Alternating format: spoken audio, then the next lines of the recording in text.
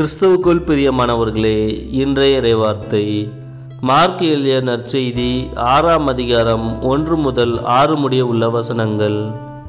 அக்காலத்தில் இயேசு தொழுகை கூட தலைவரின் வீட்டிலிருந்து புறப்பட்டு தமது சொந்த ஊருக்கு வந்தார். அவருடைய சீடரும் அவரை பின்தொடர்ந்தனர். ஓய்வு நாள் வந்தபோது அவர் தொழுகை கூடத்தில் கற்பிக்கத் தொடங்கினார். அதை கேட்ட பலர் வியப்பில் ஆழ்ந்தனர். அவர்கள் இவருக்கு இவையெல்லாம் எங்கிருந்து வந்தன? என்னே இவருக்கு அருளப்பட்ட ஞானம்? என்னே இவருடைய கைகளால் ஆகும் வல்ல செயல்கள்? இவர் தச்சர் அல்லவா மரியாவின் மகன்தானே யாக்கோபு யோசே யூதா சீமோன் ஆகியோர் இவருடைய சகோதரர் அல்லவா?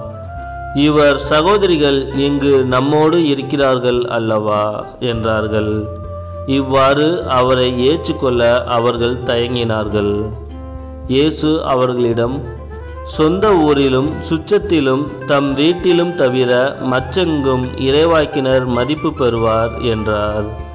அங்கே உடல் நலமற்றோர் சிலர் மேல் கைகளை வைத்து குணமாக்கியதை தவிர வேறு வல்ல செயல் எதையும் அவரால் செய்ய இயலவில்லை.